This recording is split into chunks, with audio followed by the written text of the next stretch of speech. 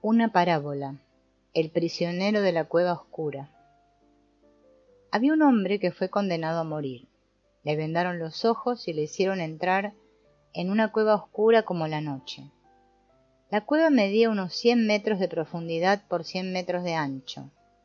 Le dijeron que en la cueva había una salida y si conseguía encontrarla sería un hombre libre. Después de que aseguraran la entrada de la cueva con una roca, el prisionero se quitó la venda de los ojos y empezó a avanzar en la oscuridad. Iban a alimentarle con pan y agua durante los treinta primeros días y después no le darían nada. Le bajaban el pan y el agua a través de un pequeño agujero del techo situado en el fondo de la cueva. Las paredes medían unos cinco metros de altura y el agujero unos 30 centímetros de diámetro. El prisionero podía ver una débil luz en lo alto, pero la cueva estaba totalmente a oscuras. Al explorar la cueva a tientas, el prisionero tropezó con varias rocas. Algunas eran bastante grandes. Pensó que si conseguía construir un montículo de rocas y barro lo suficientemente alto, podría alcanzar el agujero e intentar agrandarlo para escapar. Como medía un metro setenta y cinco y conseguía alcanzar una altura de dos metros treinta, el montículo tenía que medir al menos unos tres metros de alto. Así pues, el prisionero pasaba todas las horas en que estaba despierto a buscar y escarbar por la cueva, cavando en el barro. Al cabo de dos semanas, había construido un montículo de unos dos metros de altura. Pensó que si podía duplicarlo en las dos semanas siguientes, lo conseguiría antes de quedarse sin comida. Pero ya había utilizado casi todas las rocas de la cueva, y cada vez tenía que cavar más, y lo hacía con las manos desnudas. Al cumplirse un mes de su encarcelamiento, el montículo medía dos metros ochenta y casi podía alcanzar el agujero si saltaba. El prisionero estaba muy débil y se sentía prácticamente agotado. Un día, cuando pensaba que podía llegar a tocar el agujero, Cayó del montículo. Estaba demasiado débil para levantarse y murió al cabo de dos días. Los guardianes entraron en la cueva para recuperar su cuerpo sin vida.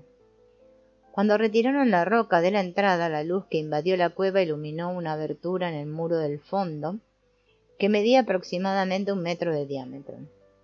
Esta abertura era la boca de un túnel que conducía al otro lado de la montaña. Este era el pasaje hacia la libertad de que habían hablado el prisionero. Estaba situado en el fondo de la cueva, justo debajo de la abertura del techo. Lo único que debería haber hecho el prisionero era gatear unos seis metros y habría encontrado la libertad. Pero se concentró tanto en la abertura de luz que jamás se le ocurrió buscar la libertad en las tinieblas. Su libertad estaba justo al lado del montículo que tanto le costó levantar pero estaba en la oscuridad. Dejar de esconderse y superar la soledad. Hay un antiguo proverbio que dice, un hombre es ningún hombre. Estamos tan enfermos como nuestros secretos, dicho del programa de 12 pasos. La terrible soledad provocada por la vergüenza tóxica es humanizadora. A medida que una persona se aísla más y más pierde el contacto con los demás individuos. Ya no puede verse reflejada en los ojos de los demás. Eric Erikson ha demostrado claramente que la formación de la identidad siempre es un proceso social.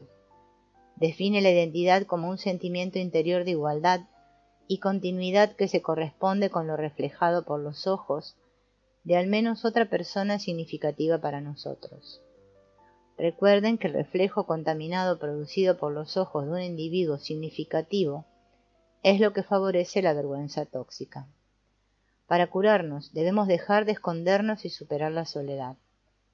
Esto significa encontrar a un grupo de personas que sean significativas o importantes para nosotros, en las cuales estemos dispuestos a confiar, cosa que para los individuos dominados por la vergüenza es muy difícil de conseguir.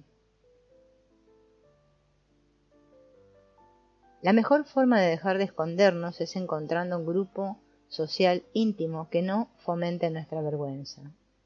Debemos alcanzar una cierta intimidad porque la vergüenza se esconde precisamente en lo más íntimo de nosotros.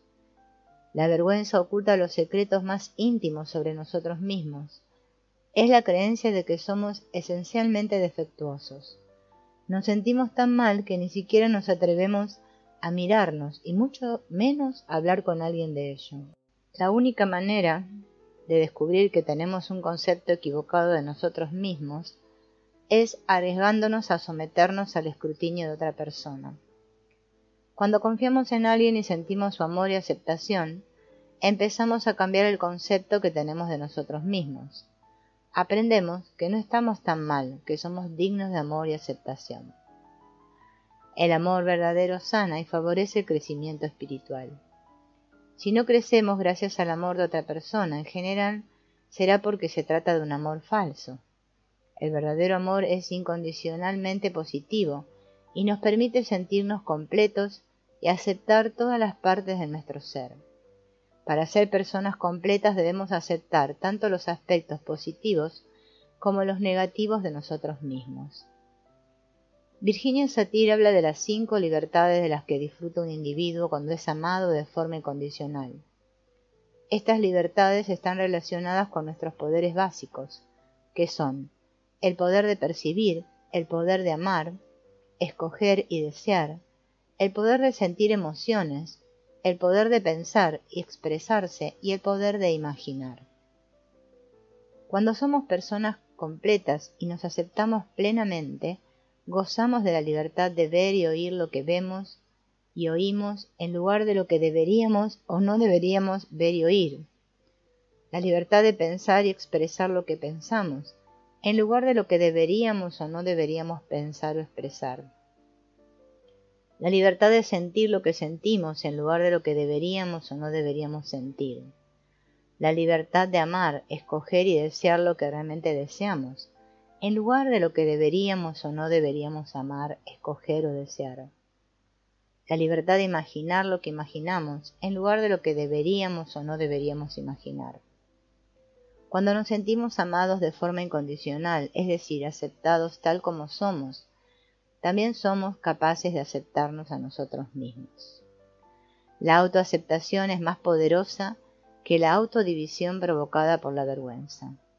El hecho de aceptarnos significa que estamos unificados, que toda nuestra energía se concentra y fluye hacia el exterior. La no aceptación provoca una ruptura y una guerra en nuestro interior. Es como si estuviéramos fuera de nosotros mismos.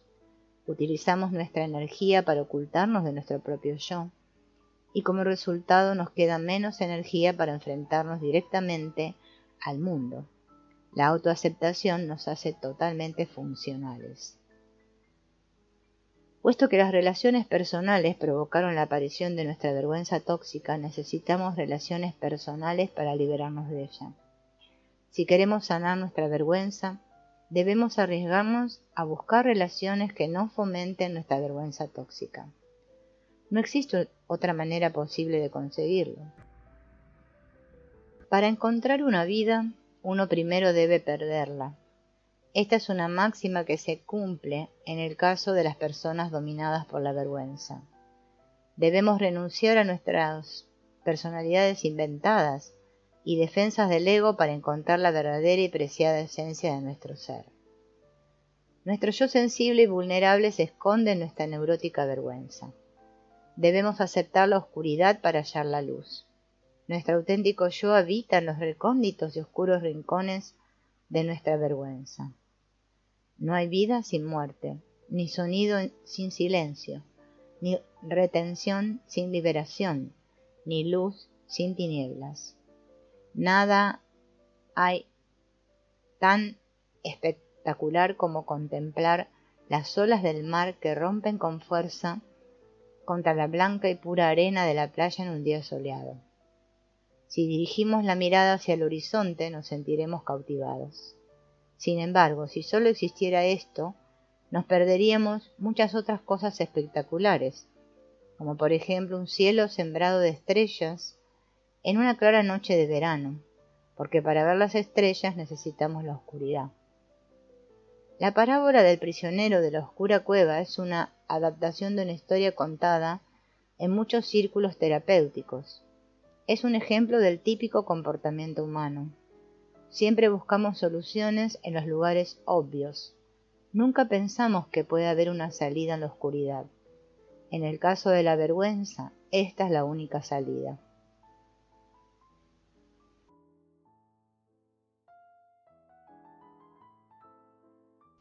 Pero, ¿cómo sanar la vergüenza?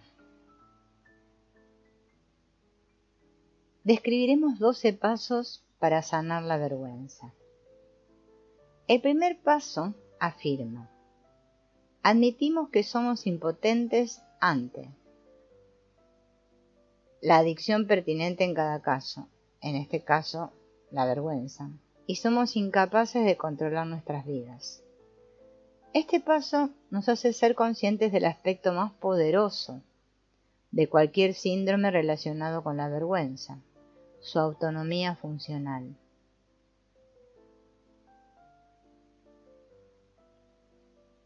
La vergüenza es un estado que una vez interiorizado funciona igual que un elemento químico.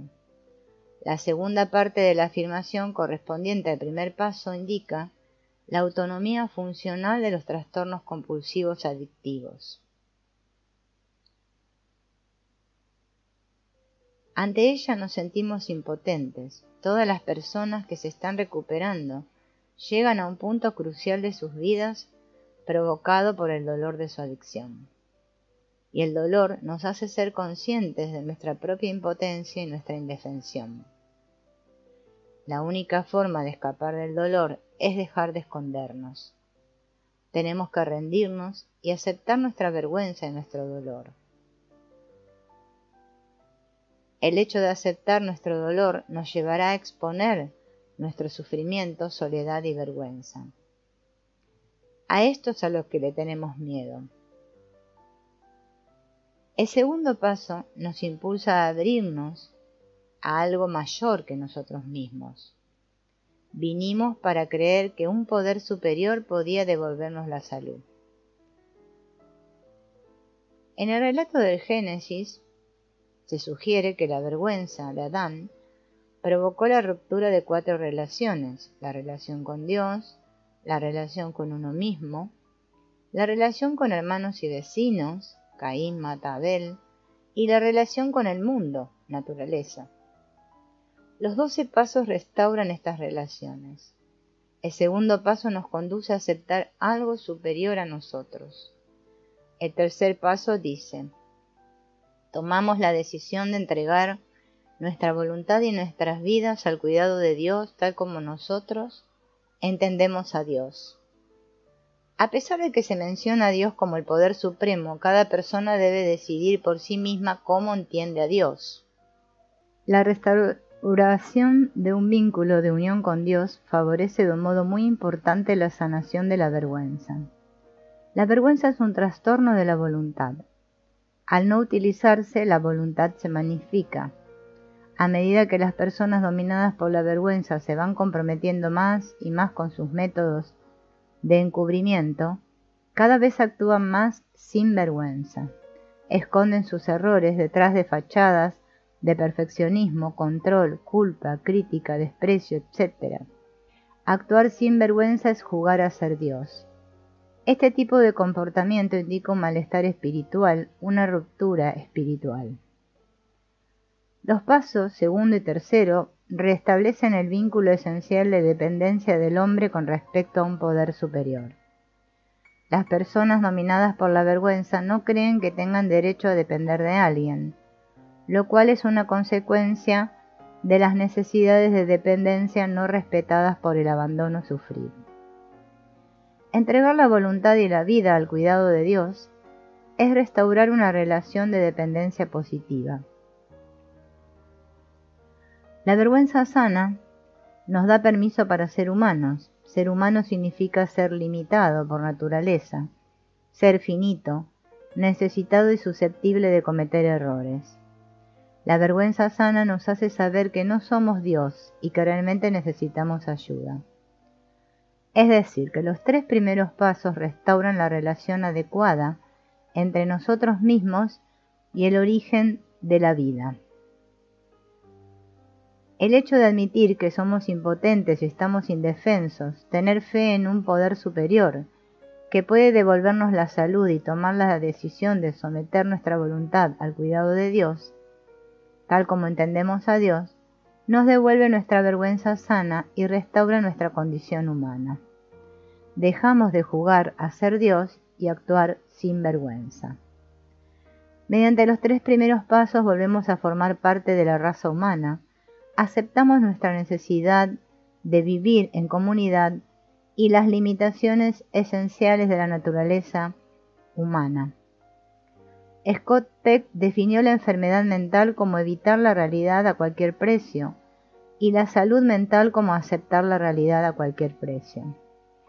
Los pasos primero, segundo y tercero nos devuelven a la realidad. El cuarto paso afirma, hacemos un inventario moral de nosotros mismos sin ningún temor.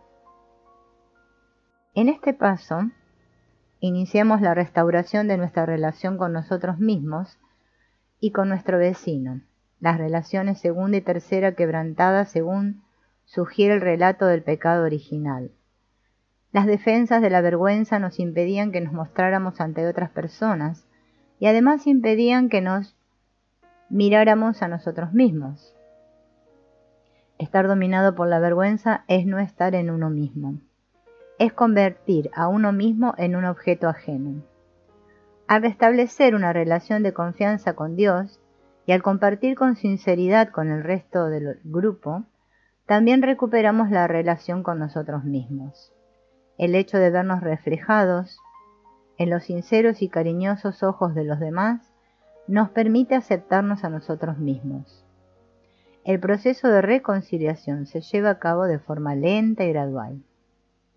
Al realizar un inventario nos damos cuenta de que nuestro principal problema es moral y no inmoral. Nuestros primeros intentos de inventario pueden ser largas listas de comportamientos inmorales. Nos vamos a ir dando cuenta que o bien somos superhumanos o bien somos inhumanos, o somos excepcionales o somos un gusano. Pero ante todo hay que recordar que somos humanos. El intentar ser más que humano, sin vergüenza, acaba siendo uno menos que humano, con vergüenza. Para jugar en el campo del moralismo, uno debe disponer de una fuerte voluntad y ser capaz de tomar decisiones. Los actos morales requieren juicio, razonamiento y capacidad de elección. Las personas dominadas por la vergüenza son amorales debido a su falta de voluntad. Resulta muy difícil atribuir poderes humanos a un falso yo. Esto no significa que personas dominadas por la vergüenza hayan cometido verdaderos errores con respecto a otras personas. En el cuarto paso asumimos la responsabilidad por los errores que hemos cometido para poder comprender el verdadero núcleo del problema. Y así veremos claramente que el 95% de la vergüenza que nos atormenta está causada por los distintos tipos de abandono que hemos padecido. Cuando comprendemos esto, estaremos dispuestos a hacer algo para solucionarlo el hecho de comprender el origen de la vergüenza es muy esperanzador.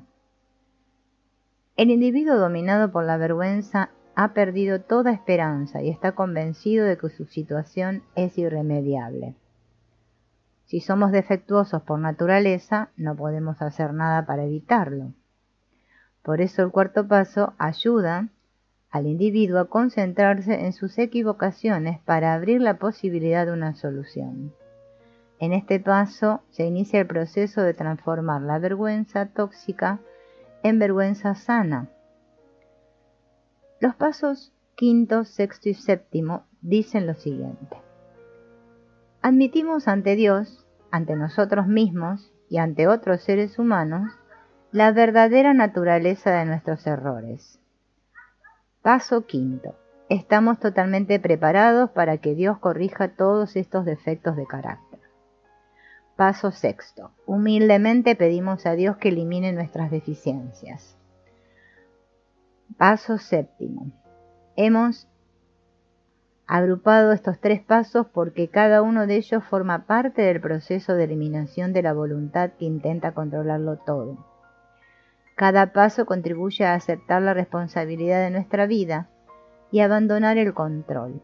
Cada paso es un acto de esperanza. En el quinto paso dejamos de escondernos.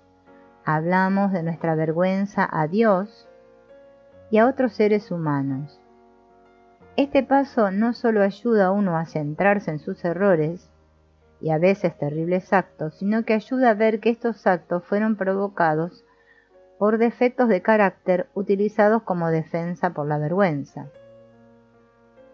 Al hablar de ello con otra persona, aceptamos el dolor de nuestra vergüenza y nos mostramos ante los ojos de otro ser humano. Permitimos que otro vea lo mal que nos sentimos con nosotros mismos no hay disimulo ni encubrimiento. El sexto paso es un acto de fe y esperanza. Nos sentimos lo suficientemente bien con nosotros mismos para pensar que Dios eliminará esos defectos de carácter.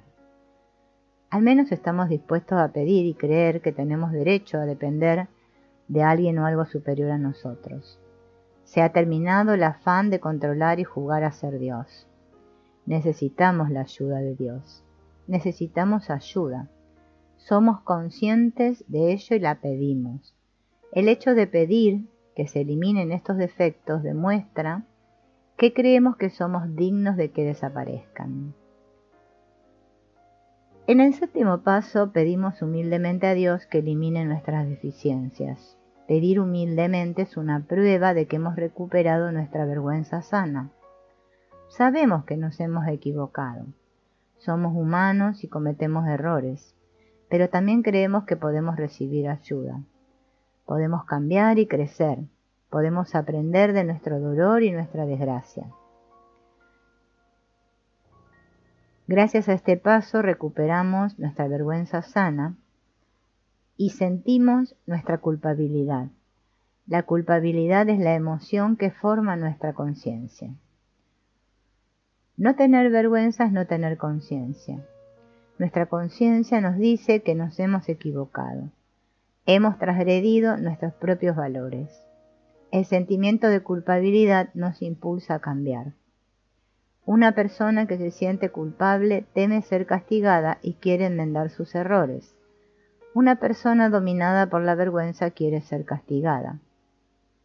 Cuando conseguimos conectar con nuestra culpabilidad y nuestra conciencia, sentimos la necesidad de enmendar nuestros errores. Los pasos quinto, sexto y séptimo restablecen la relación con nosotros mismos. Nos aceptamos lo suficiente para estar dispuestos a hablar de nuestros errores. Tenemos la suficiente esperanza para pedir ayuda a nuestro poder superior. Y estamos dispuestos a ser responsables. Los pasos octavo y noveno son los pasos correctivos. Hacemos una lista de todas las personas a las que hemos hecho daño y estamos dispuestos a compensarlas por ello. Octavo paso, compensamos directamente a estas personas siempre que sea posible, excepto cuando el hecho de hacerlo supondría un perjuicio para ellos o para nosotros. Noveno paso. Ahora nos centramos en la tercera relación quebrantada que se menciona en el relato del pecado original, la relación con otras personas. Tal vez la incapacidad de entablar una relación íntima sea el peor dolor que soporta una persona dominada por la vergüenza. Esta incapacidad proviene directamente de la falta de sinceridad provocada por la vergüenza tóxica. Vivir en una falsa personalidad, siempre escondiéndose y ocultando secretos, anula cualquier posibilidad de mantener una relación sincera. Porque Las personas dominadas por la vergüenza buscan relaciones con otras personas dominadas por la vergüenza.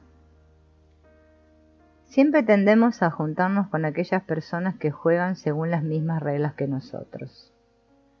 El secretismo, la falta de sinceridad y la creencia de que podríamos jugar con personas son factores comunes a todas nuestras relaciones.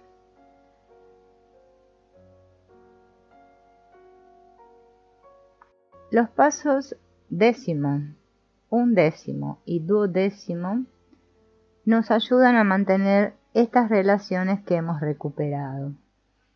El décimo paso dice, seguimos elaborando un inventario personal y cuando nos equivocamos lo admitimos sin reparos.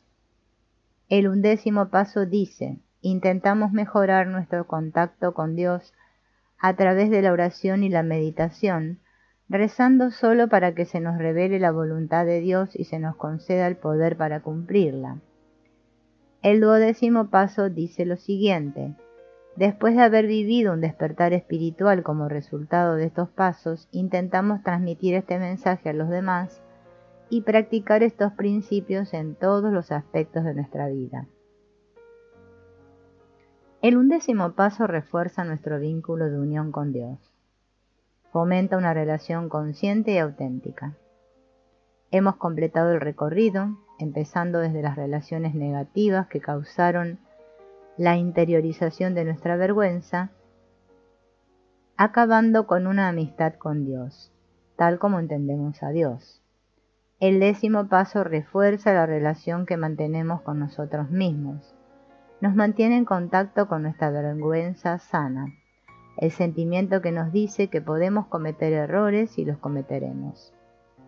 Al ser conscientes de nuestra naturaleza humana y nuestras limitaciones, podemos aceptarnos a nosotros mismos. Reconocer nuestros errores es aceptar y expresar nuestra vulnerabilidad y limitación, y esta actitud reprime nuestra tendencia a actuar sin vergüenza y de forma sobrehumana. El duodécimo paso anuncia que el objetivo y la consecuencia de los doce pasos es experimentar un despertar espiritual. Esta afirmación presupone el hecho de que la vergüenza tóxica y todos sus encubrimientos provocan un gran malestar espiritual. La vergüenza tóxica es la asesina del alma. Por su culpa nos convertimos en seres humanos, que carecen de vida y paz interior. Los individuos basados en la vergüenza anhelan un auténtico silencio y soledad interiores. El silencio y la soledad son dos características de la madurez espiritual que conducen hacia la paz y la felicidad. La vida espiritual es una vida interior, no puede conseguirse en el exterior. La vida espiritual es su propia razón de ser y no pretende conseguir nada fuera de ella misma. Una vez que alcanzamos la paz interior queremos expresarla. La paz interior impulsada por la verdad y el amor nos conduce hacia la bondad y la trascendencia.